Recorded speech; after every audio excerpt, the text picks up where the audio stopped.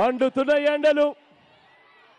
ఎండాకాలం మిట్ట మధ్యాహ్నంగా వస్తూ ఉంది. అయినా కూడా ఇవేమీ కూడా లెక్క చేయడం లేదు. చిక్కటి చిరునవ్వులతోనే ఆప్యాయతలు చూపిస్తూ ఉన్నారు. ప్రేమానురాగాలు రాగాలు పంచిపెడతా ఉన్నారు. ఆత్మీయతను చూపిస్తూ ఉన్నారు. మీ అందరి ఆప్యాయతలకు మీ అందరి ప్రేమానురాగాలకు మీ అందరి ఆత్మీయతలకు ప్రతి అక్కకు.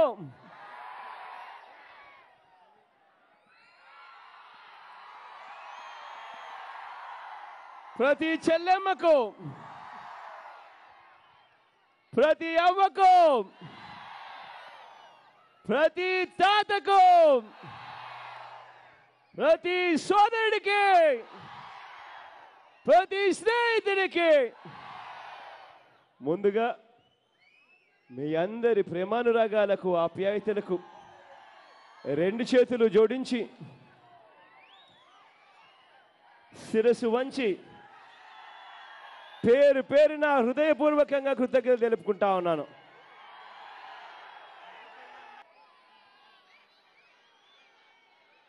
నా పాదయాత్ర ఆ మూడు వేల ఆరు వందల నలభై ఎనిమిది కిలోమీటర్లు సాగిన ఆ యాత్ర. ఈ పాలకొల్లు నియోజకవర్గం గుండా కూడా సాగింది. ఆ రోజు మీరు చెప్పిన ఆ మాటలు నాకు ఇంకా గుర్తున్నాయి. ఆ బాధలు నేను చూశాను. ఆ కష్టాలు నేను విన్నాను. మీరు చెప్పిన ప్రతి మాట నాకు ఇవాళటికి కూడా గుర్తున్నాయి. ఆ రోజు మీరు చెబుతూ అన్న మాటలు పక్కనే గోదావరి పక్కన గోదావరి కనిపిస్తున్నా కూడా రెండో పంటకు నీళ్ళందని పరిస్థితి.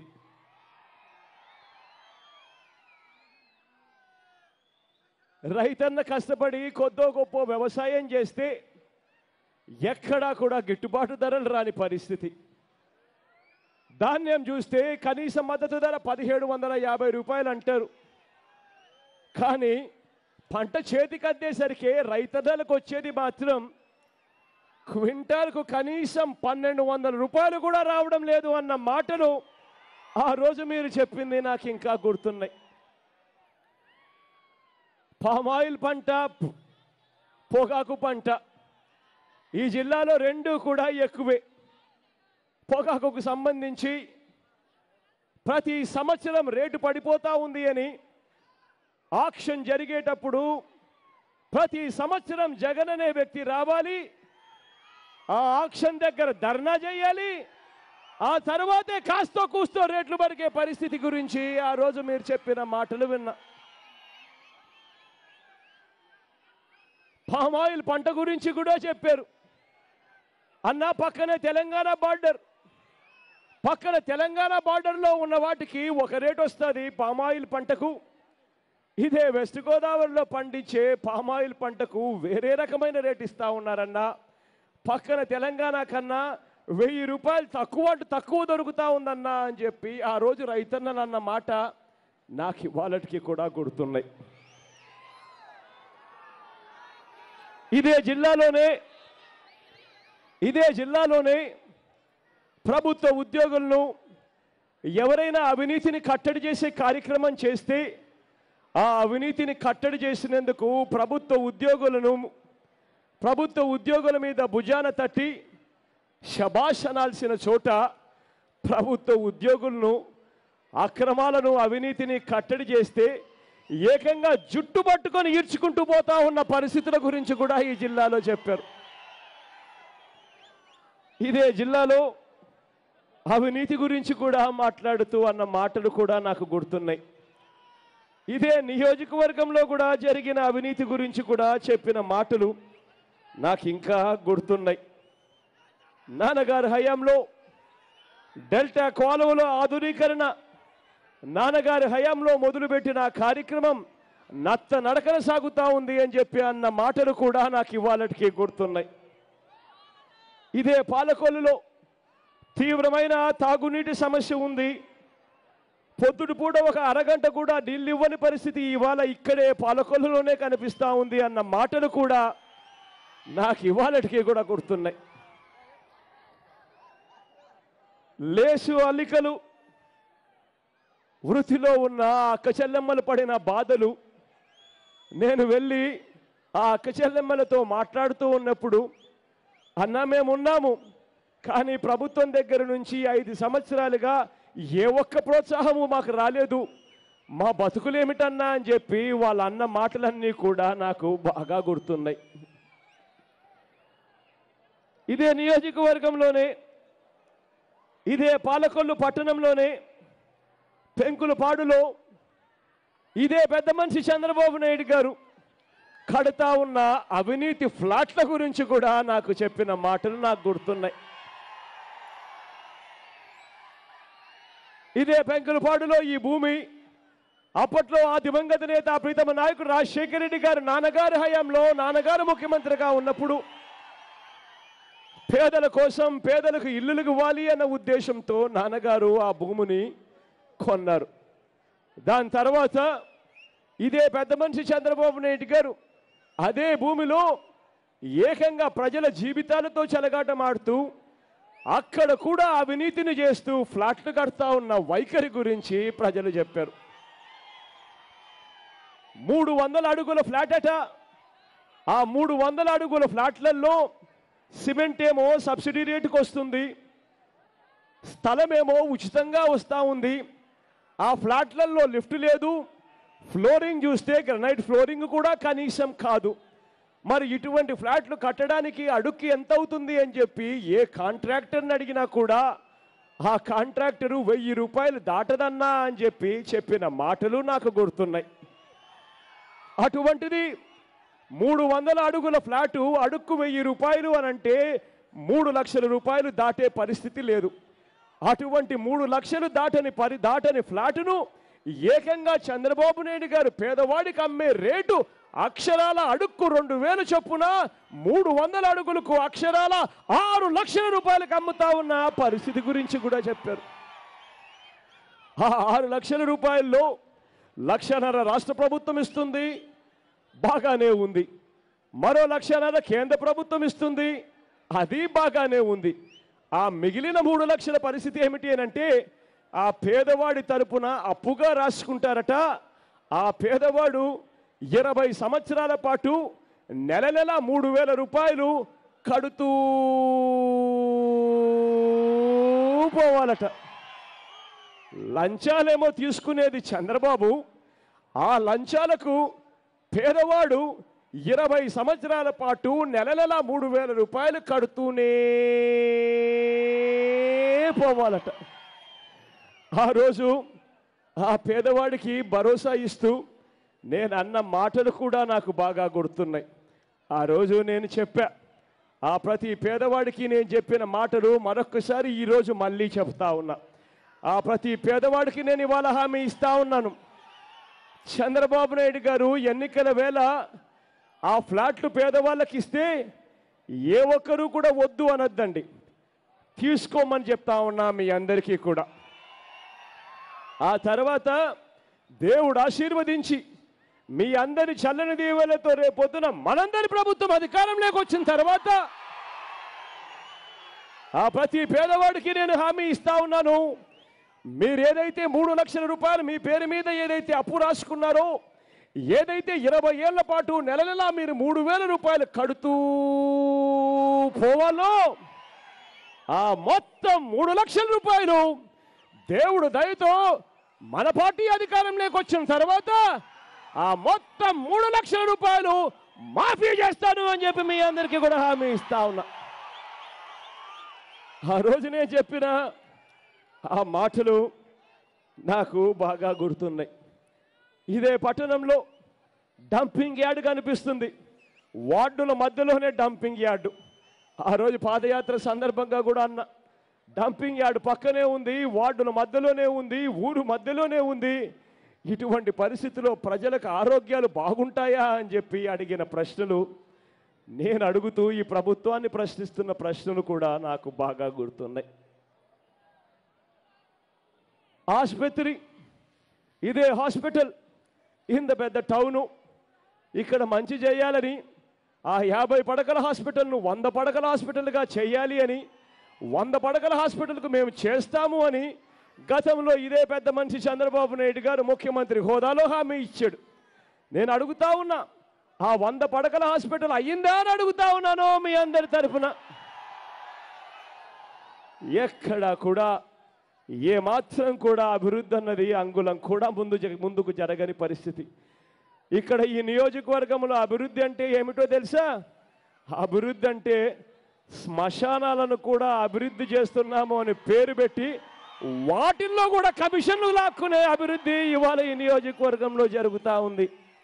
అన్న మాటలు ఆ రోజు ప్రజలు చెప్పిన మాటలు నాకు ఇంకా గుర్తున్నే ఉన్నాయి. ఇదే మూడు వేల ఆరు వందల నలభై ఎనిమిది కిలోమీటర్ల పాదయాత్రలో రైతన్నలు పడిన బాధలు విన్నా పొదుపు సంఘాల అక్క చెల్లెమ్మలు రుణాలు మాఫీ కాక ఇబ్బందులు పడుతూ ఉన్న పరిస్థితులను విన్నా ఉద్యోగం కోసం ఎతుకుతూ డిగ్రీ పూర్తి చేసుకొని ఉద్యోగాలు ఎక్కడా దొరక్క ప్రభుత్వం ఏదో గవర్నమెంట్ ఉద్యోగం ఇస్తుందేమో నోటిఫై చేస్తుందేమో గవర్నమెంట్లో అక్షరాల లక్ష నలభై రెండు వేల ఉద్యోగాలు ఖాళీగా ఉన్నాయని రాష్ట్రం విడిపోయే నాటికి కమల్నాథన్ కమిటీ చెప్పింది కదా ఆ ఉద్యోగాలు చంద్రబాబు నాయుడు గారు రిలీజ్ చేస్తారేమో అని చెప్పి చదువుకున్న ఆ పిల్లలు ఆ ఉద్యోగాలు వస్తాయేమో వాటి కోసము ప్రిపేర్ కావాలని చెప్పి ఏకంగా వేలకు వేల రూపాయలు ఆ పిల్లలు ఆ ఉద్యోగాల కోసం వస్తాయేమో అని కోచింగ్ సెంటర్ల మీద తగలేస్తా ఉన్న పరిస్థితిని కూడా నేను చూసా ఆ ఉద్యోగాలు ఒకవైపున రాక మరోవైపు డిగ్రీలు పూర్తి చేసుకొని చదువుకొని ఉద్యోగాల కోసం ఎక్కడికి పోవాలనో అర్థం కాక వలసలు పోతా ఉన్న ఆ పిల్లల బ్రతుకులను నేను చూసా ఒకవైపున ప్రత్యేక హోదా అంతో ఇంతో వస్తే ఆ ప్రత్యేక హోదా వల్ల ఇన్కమ్ ట్యాక్స్లు కట్టాల్సిన పని లేదు. ప్రత్యేక హోదా వల్ల జిఎస్టీలు కట్టాల్సిన పని లేదు. అటువంటి పరిస్థితుల్లో ఏదైనా ఫ్యాక్టరీ కట్టేవాడైనా ముందుకొస్తాడు హోటల్ కట్టేవాడైనా ముందుకొస్తాడు హాస్పిటల్ కట్టేవాడైనా ముందుకొస్తాడు అని అటువంటి ప్రత్యేక హోదా వస్తుందని దానివల్ల ఉద్యోగాలు మెరుగవుతాయని ఉద్యోగ అవకాశాలు మెరుగవుతాయని చెప్పి ఆశగా ఎదురు చూసిన ఆ పిల్లలకు రాష్ట్ర ప్రభుత్వం వెన్ను పోటు పొడవడం కూడా నా కళ్ళతో నేను చూసా ఇవన్నీ నేను చూసా మీ అందరికీ నేను ఒకటే చెప్తా ఉన్నా. ఈ బాధలన్నీ నేను విన్నా. మీ కష్టాలన్నీ నేను చూసా చూసిన తర్వాత నేను మీ ఇవాళ మీ అందరికీ నేను ఒక్క మాట చెప్తా ఉన్నా. సమస్యలు వల సమస్యల్లో సమస్యల్లో ఉండి ప్రభుత్వం పట్టించుకొని పరిస్థితిలో ఉన్న ఆ ప్రతి కుటుంబానికి నేను ఇవాళ ఒక్క మాట చెప్తా ఉన్నా. నేను ఉన్నాను అని మీ అందరికీ నేను ఇవాళ హామీ ఇస్తా ఉన్నాను.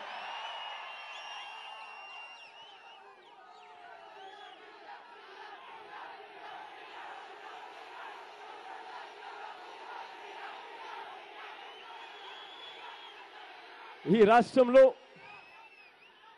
ఈ ఐదు సంవత్సరాల పరిపాలన మీరు చూశారు. కుట్రలు సాగుతూ ఉన్నాయి. అబద్ధాలు జరుగుతూ ఉన్నాయి మోసాలు చేస్తా చేస్తూ ఉన్నారు. ఏ మాత్రం కూడా ఏ ఒక్కరికి కూడా ఇంచు బై ఇంచు ఇంచైనా కూడా కూడా కనీసం అన్యాయం చేస్తున్నామన్న భావన కూడా లేకుండా మోసాలు జరుగుతూ ఉన్నాయి. మూడు వేల ఆరు వందల కిలోమీటర్లు నా పాదయాత్రలో నన్ను మీరు చూశారు. పద్నాలుగు నెలల పాటు సాగింది ఆ పాదయాత్ర.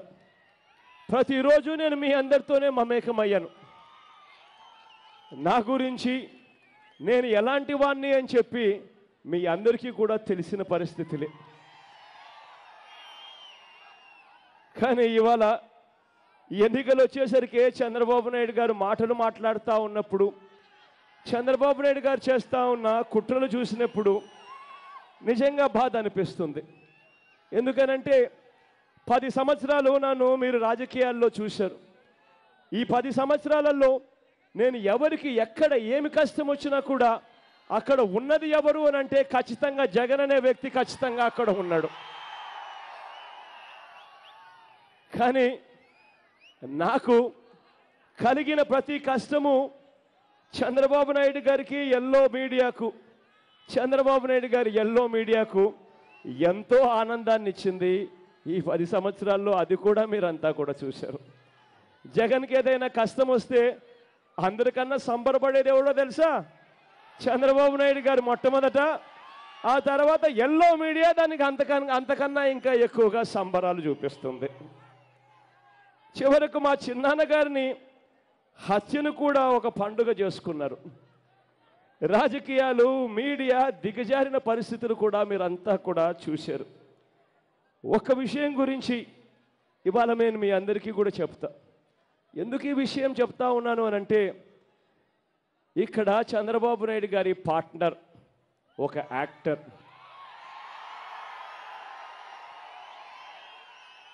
ఆయన కూడా చంద్రబాబు నాయుడు గారి కుట్రలో ఏ రకంగా భాగమైపోయి విలువలన్నీ కూడా మర్చిపోయి ఆయన కూడా చంద్రబాబు నాయుడు గారి స్క్రిప్ట్ ప్రకారం చంద్రబాబు నాయుడు గారు ఏమి చెప్తే అలా చెప్తా ఉన్నా ఆ మాటలను చూసి బాధ అనిపించి ఇవాళ నేను చెప్తా ఉన్నా. ఇదే చంద్రబాబు నాయుడు గారి పార్ట్నర్ను నేను ఒకటి అడుగుతా ఉన్నా.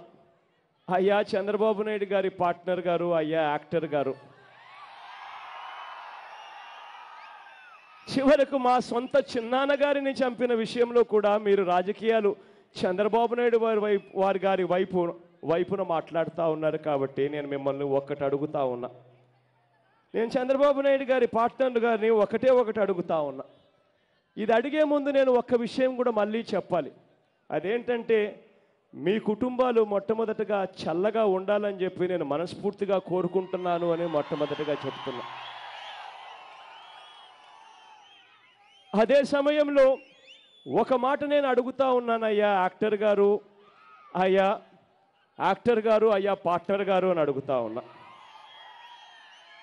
ఇదే ఇదే మీ కుటుంబంలోనే మా చిన్నాన్న గారికి జరిగినట్టుగానే ఇదే మీ కుటుంబంలోనే ఎవరినైనా బాబు మనుషులు ఇలాగే హత్య చేస్తే ఆ హత్య చేసింది హత్య వాళ్ళే చేయించి పోలీసుల చేత వాళ్ళే వాళ్ళ పోలీసుల చేతనే ఎంక్వైరీ చేయించి ఆ తర్వాత వాళ్ళే వాళ్ళ పత్రికల్లోనే వాళ్ళ ఎల్లో మీడియాలోనే వాళ్ళ టీవీల్లోనే దాన్నే వక్రీకరిస్తూ మీ బంధువులే ఆ పని చేశారు మీరే ఆ పని చేశారు అని చెప్పి వాళ్ళందరూ అంటే మీకు నచ్చుతుందా పార్ట్నర్ గారు? అని అడుగుతా ఉన్నాను. ఈ పార్ట్నర్ గారిని ఈ యాక్టర్ గారిని. తన దాకా వస్తే కానీ ఆ బాధ ఏమిటో ఎవరికి అర్థం కాదు అని ఒక సామెత కూడా ఉంది. కాబట్టి ఈ పార్ట్నర్ గారిని నేను అడుగుతా ఉన్నా. ఇవాళ ఇదే పార్ట్నర్ గారు చేస్తూ ఉన్న అన్యాయాలు ఒక్కసారి గమనించమని అడుగుతా ఉన్నా. నాలుగు సంవత్సరాలు ఈ పెద్ద మనిషి చంద్రబాబు నాయుడు గారితో కలిసి కాపురం చేస్తారు. రెండు వేల పద్నాలుగు ఎన్నికల్లో చంద్రబాబు నాయుడు గారికి ఓటేయమని చెప్పి సాక్షాత్తు ఈ పార్ట్నర్ గారే ఓటేయిస్తారు. ఓటేయించిన వేయించిన తర్వాత నాలుగు సంవత్సరాలు చంద్రబాబు నాయుడు గారు చేసిన ప్రతి అన్యాయంలోనూ ప్రతి మోసంలోనూ ఈ పార్ట్నర్ అక్కడే ఉంటాడు తనతో కలిసి నాలుగు సంవత్సరాలు పాలు పంచుకుంటాడు.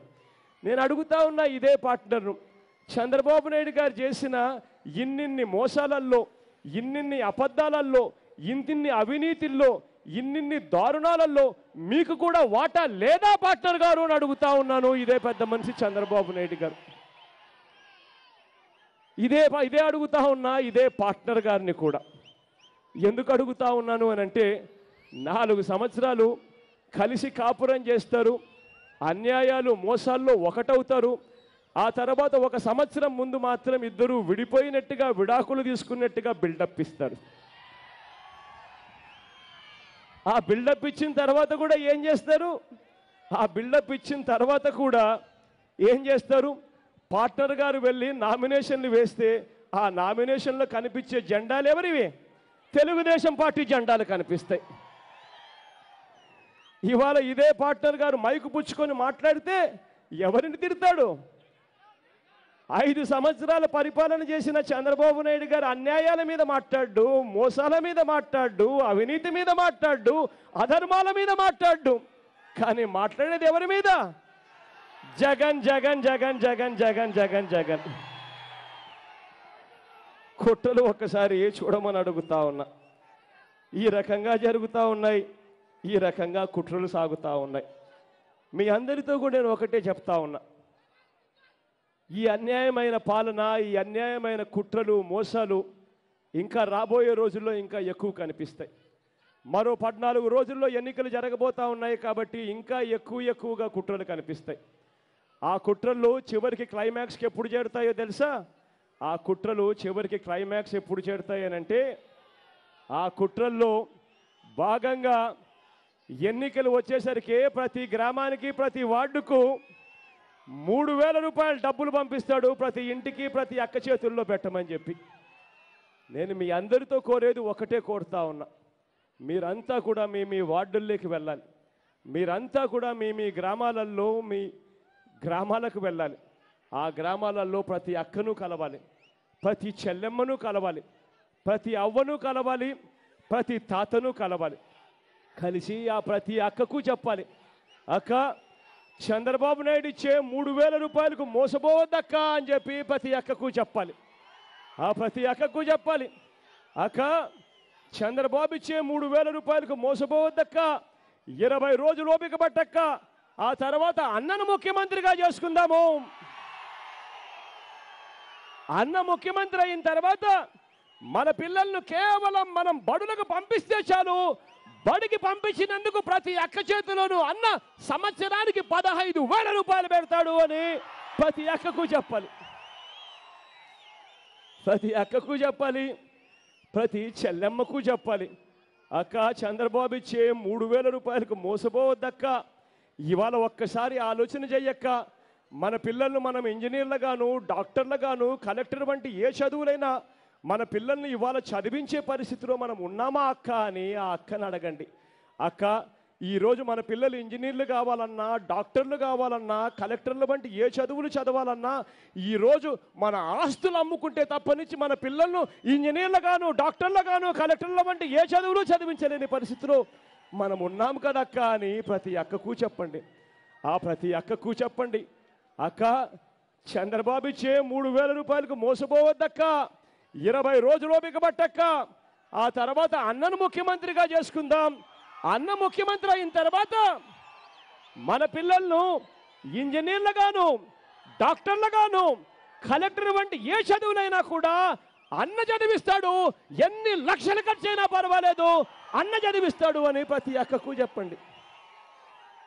ప్రతి అక్క దగ్గరికి వెళ్ళండి. ప్రతి చెల్లెమ్మ దగ్గరికి వెళ్ళండి. ఆ పొదుపు సంఘాల్లో ఉన్న ఆ ప్రతి అక్కను కలవండి.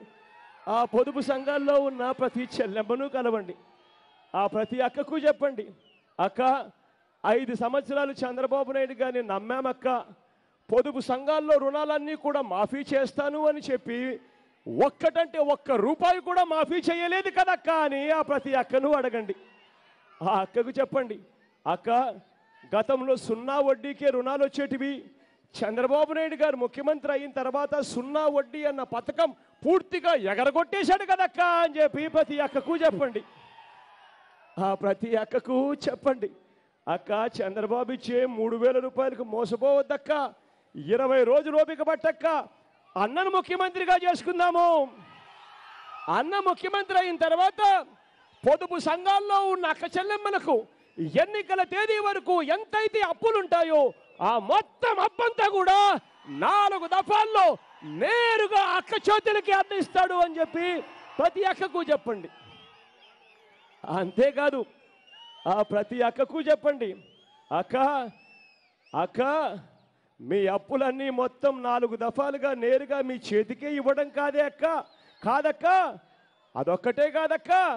మళ్ళీ బ్యాంకుల దగ్గర నుంచి రుణాలు వస్తాయక్క మళ్ళీ బ్యాంకుల దగ్గర నుంచి సున్నా వడ్డీకే రుణాలు వచ్చే రోజు మళ్ళీ జగనన్నతోనే సాధ్యమక్క అని చెప్పి ప్రతి అక్కకు చెప్పండి. ఆ ప్రతి అక్కకు చెప్పండి. అక్క గతంలో ప్రతి అక్కను చెల్లెమ్మను లక్షాధికారిని చెయ్యాలి అని చెప్పి ఆ దివంగత నేత ప్రీతమ నాయకుడు రాజశేఖర రెడ్డి గారి రాజన్న రాజ్యం చూశాము. మళ్ళీ అది జగనన్నతోనే సాధ్యమవుతుంది అని ప్రతి అక్కకు చెప్పండి. ఆ ఎస్సీలుగా ఉంటూ ఆ ఎస్టీలుగా ఉంటూ ఆ బీసీలుగా ఉంటూ ఆ మైనారిటీలుగా ఉంటూ పేదరికంలో అలమటిస్తూ ఉన్న ఆ నలభై ఐదు సంవత్సరాల నుంచి అరవై సంవత్సరాల వయసులో ఉన్న ఆ ప్రతి అక్క దగ్గరికి వెళ్ళి చెప్పండి. అక్క చంద్రబాబు ఇచ్చే మూడు వేల రూపాయలకు మోసపోవద్దక్క. ఇరవై రోజులు ఓపిక పట్టక్క. అన్నను ముఖ్యమంత్రిగా చేసుకుందామక్క. ఆ తర్వాత అన్న వైఎస్ఆర్ చేయూత అన్న పథకాన్ని తీసుకొస్తా ఉన్నాడక్క అక్క. ఇరవై రోజులు ఓపిక పట్టక్క. ప్రతి అక్క చేతిలోనూ అన్న వైఎస్ఆర్ చేయూత అన్న పథకం ద్వారా ప్రతి అక్క చేతిలోనూ అన్న డెబ్బై ఐదు వేల రూపాయలు పెడతాడు. దఫాలుగా అని చెప్పి ప్రతి అక్కకు చెప్పండి. ప్రతి చెల్లెమ్మకు చెప్పండి. రైతన్నలుగా ఉన్న ప్రతి అన్న దగ్గరికి వెళ్ళండి. వెళ్ళి ఆ ప్రతి అన్నకు చెప్పండి. అన్నా చంద్రబాబు ఇచ్చే మూడు వేల రూపాయలకు మోసపోవద్దన్నా. ఎన్నికలప్పుడు చంద్రబాబు నాయుడు గారు రుణాలు మాఫీ చేస్తాను అని అన్నాడు. ఆయన చేసిన రుణమాఫీ అన్న పథకం చివరికి కనీసం వడ్డీలకు కూడా సరిపోని విధంగా చేశాడు అన్న సంగతి మర్చిపోవద్దన్నా అని చెప్పి ప్రతి రైతన్నకు చెప్పండి. ఈ ఐదు సంవత్సరాలలో ఏ పంటకు గిట్టుబాటు ధరలు రాక రైతన్నలు ఇవాళ ఆత్మహత్యలు చేసుకుంటా ఉన్న పరిస్థితులు ఉన్నాయి కదన్నా అని చెప్పి ప్రతి రైతన్నకు చెప్పండి. ఆ ప్రతి రైతన్నకు చెప్పండి. అన్న చంద్రబాబు ఇచ్చే మూడు వేల రూపాయలకు మోసపోవద్దన్నా ఇరవై రోజులు ఓపిక పట్టన్నా ఆ తర్వాత అన్నను ముఖ్యమంత్రిగా చేసుకుందాము. అన్న ముఖ్యమంత్రి అయిన తర్వాత ప్రతి రైతన్నకు పెట్టుబడి కోసం మే మాసం వచ్చేసరికి ప్రతి రైతన్న చేతిలోనూ అన్న పన్నెండు వేల ఐదు వందల రూపాయలు పెట్టుబడి కోసం పెడతాడు ప్రతి సంవత్సరము. అక్షరాల పెట్టుబడి కోసం యాభై వేల రూపాయలు ఇస్తాడు అన్న మీ బ్యాంకు అప్పులతో సంబంధం లేకుండా మీ ప్రతి చేతిలోనూ ఆ డబ్బు పెడతాడు అన్న అని చెప్పి ప్రతి రైతన్నకు చెప్పండి అని అడుగుతా ఉన్నా. అంతేకాదు ఆ ప్రతి రైతన్నకు చెప్పండి అన్న గిట్టుబాటు ధరలు ఇప్పించడమే కాదు గిట్టుబాటు ధరలకు అన్న గ్యారంటీ కూడా ఇస్తాడు అని చెప్పి ప్రతి రైతన్నకు చెప్పండి. ప్రతి అవ్వ దగ్గరికి వెళ్ళండి. ప్రతి తాత దగ్గరికి వెళ్ళండి. వెళ్ళి ఆ అవ్వను తాతను ఒక్క మాట అడగండి. అవ్వ ఈరోజు ఎన్నికలు వచ్చాయవ్వా అవ్వ. ఈ రోజు నుంచి రెండు నెలల ముందుకు పడినవ్వా రెండు నెలల ముందు మీకు ఈ ప్రభుత్వంలో పెన్షన్ ఎంత ఇచ్చేవారవ్వా అని చెప్పి ఆ అవ్వను అడగండి. ఆ అవ్వ మీతో అంటుంది ఇలా ఇచ్చేవాళ్ళు కాదు నాన్న అంటుంది. లేకపోతే ఇలా వెయ్యి రూపాయలు ఇచ్చేవాళ్ళు అని చెప్పి ఇలా చెయ్యి చూపిస్తుంది. అప్పుడు ఆ అవ్వను ఒక్క మాట అడగండి. అవ్వ ఎన్నికలే రాకపోయింటే జగనన్నే రెండు వేలు ఇస్తాను అని చెప్పకపోయింటే ఈ చంద్రబాబు రెండు వేల రూపాయలు ఇచ్చేవాడేనా అవ్వా? అని ప్రతి అవ్వను అడగండి. ఆ ప్రతి అవ్వను ప్రతి తాతకు చెప్పండి చంద్రబాబు చేసే చంద్రబాబు చేసే మోసాలకు మోసపోవద్దవ్వా. ఇరవై రోజులు ఓపిక పట్టవ్వా. అన్నను ముఖ్యమంత్రిగా చేసుకుందాము. ఆ తర్వాత అన్న పెన్షన్ మూడు వేలకు పెంచుకుంటూ పోతాడు అని ప్రతి అవ్వకు చెప్పండి. నవరత్నాల్లోని ప్రతి అంశము ప్రతి ఇంటికి చేరాలి. ప్రతి అక్క దగ్గరికి వెళ్ళాలి ప్రతి చెల్లెమ్మ దగ్గరికి వెళ్ళాలి ప్రతి అవ్వ దగ్గరికి వెళ్ళాలి ప్రతి తాత దగ్గరికి వెళ్ళాలి. నవరత్నాలతో మంచి జరుగుతుందని సంపూర్ణంగా నేను నమ్ముతా ఉన్నాను.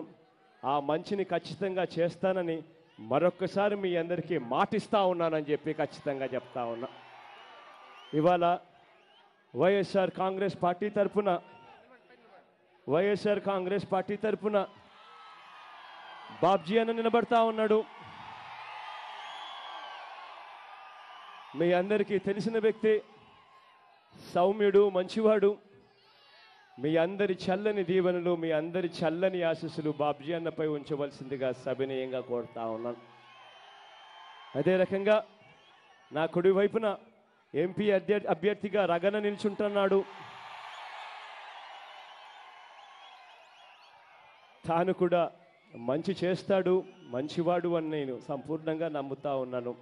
మీ అందరి చల్లని దీవెనలు చల్లని ఆశీస్సులు రగన్నపై కూడా ఉంచవలసిందిగా సవినయంగా చేతులు జోడించి పేరు పేరున ప్రార్థిస్తూ ఉన్నాను. ఇక మన పార్టీ గుర్తు తెలియని వాళ్ళు ఎవరైనా ఉంటే ఒక్కసారి నేను గుర్తు గురించి చూపిస్తాను. దయ ఉంచి గుర్తు చూడవలసిందిగా ప్రార్థిస్తూ ఉన్నాను. అక్క మన గుర్తక్క ఫ్యాన్ అక్క. ఫ్యాన్ అక్క. ఫ్యాన్ అమ్మ. ఫ్యాన్ అన్న. ఫ్యాన్ అమ్మ. ఫ్యాన్ అన్న. ఫ్యాన్ అన్న. ఫ్యాన్ అక్క ఫ్యాన్ అన్న అక్క ఫ్యాన్ అక్క ఫ్యాన్ అన్నా మన గుర్తు ఫ్యాన్ అన్నా ఫ్యాన్ అన్నా ఫ్యాన్ అక్క ఫ్యాన్ అమ్మ ఫ్యాన్ అన్న మన గుర్తు ఫ్యాన్ అవ్వా మండుతున్న ఈ ఎండను ఏమాత్రం ఖాతరు చేయకుండా చెరగని చిరునవ్వులతోనే ఆప్యాయతను చూపించినందుకు మరొకసారి మీ అందరికీ పేరు పేరున హృదయపూర్వకంగా కృతజ్ఞత తెలుపుకుంటూ సెలవు తీసుకుంటా ఉన్నాను.